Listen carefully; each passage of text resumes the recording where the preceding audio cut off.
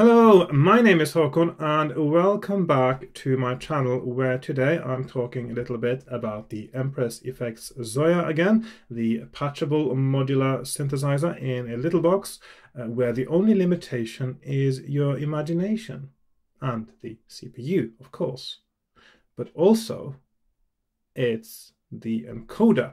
Now, many of you may have noticed after you upgraded to firmware 1.13 particularly, that the encoder has changed behavior. So um, I'm just going to put in the value module here now. Uh, before, when you scrolled through a value, as you move the encoder a bit faster, it would scroll faster through it. And that behavior seems to have changed in 113. It is now a lot more linear and therefore a lot slower to go through a value range. Now, this causes two problems. First of all, uh, you still can't get the detailed values any easier than before. That's still easy to do with Shift, though. But you have to spend so much more time using the encoder to go through the value range than you used to have to before, uh, which also puts more strain on the encoder. Another thing that seems to happen more easily with the new encoder behavior is if you try to move it very slowly, sometimes it actually jumps down in value.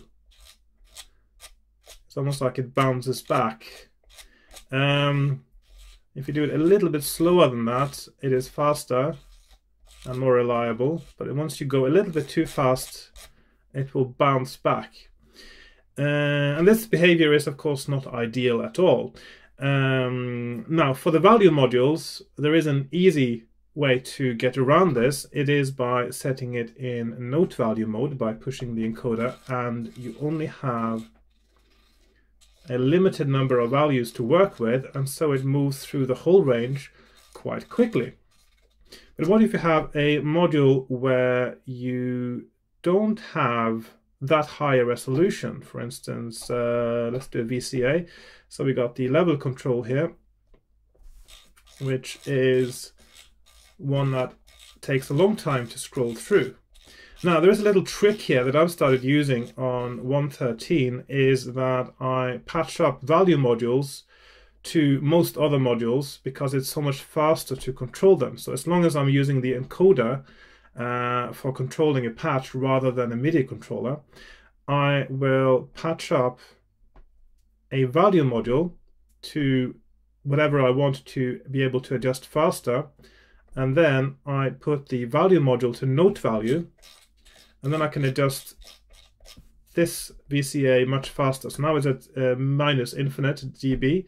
If I move it up just a little bit now to halfway and it's minus 533 and there we are all the way up like that.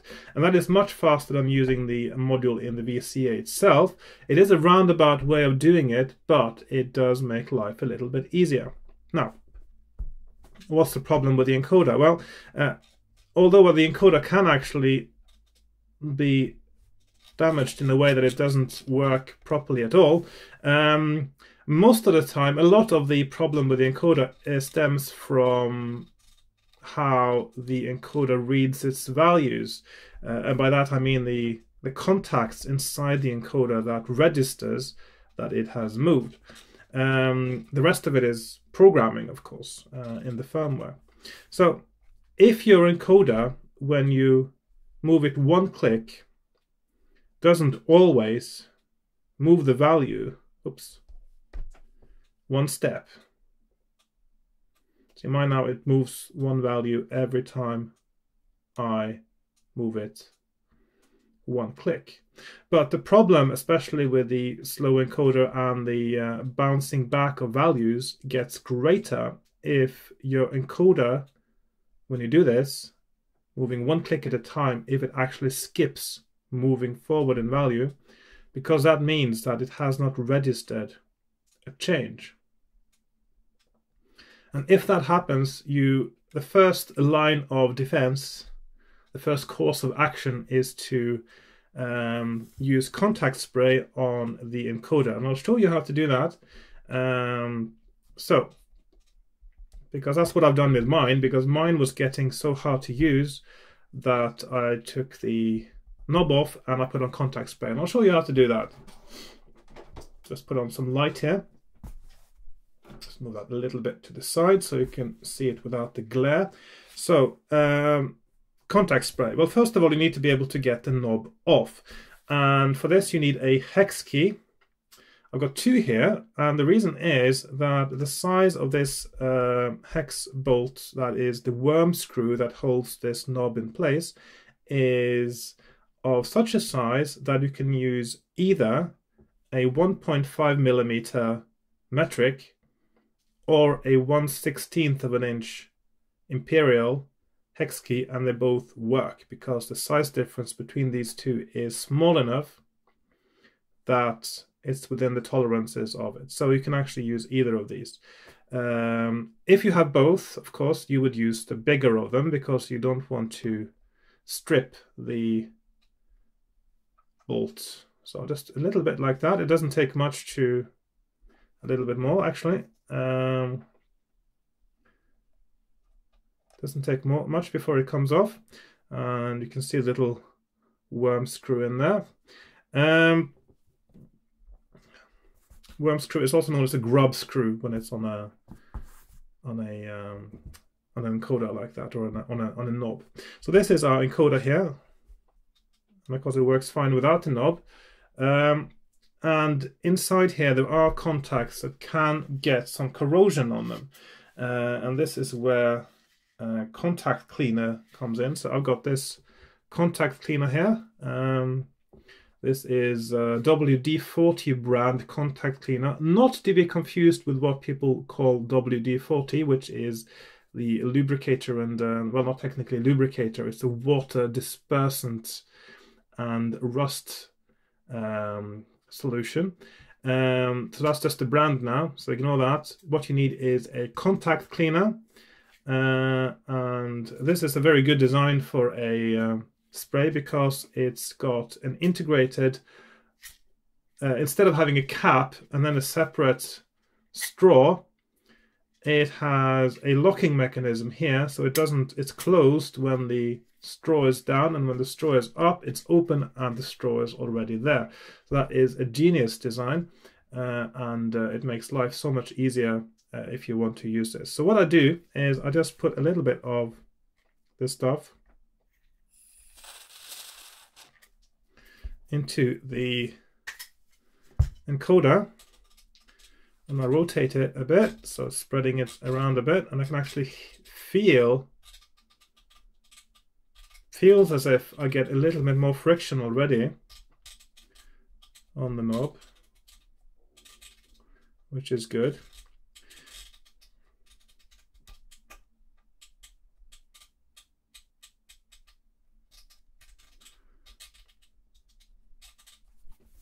Then I'll just put the knob back on again. See, that's the correct way there. And tighten it.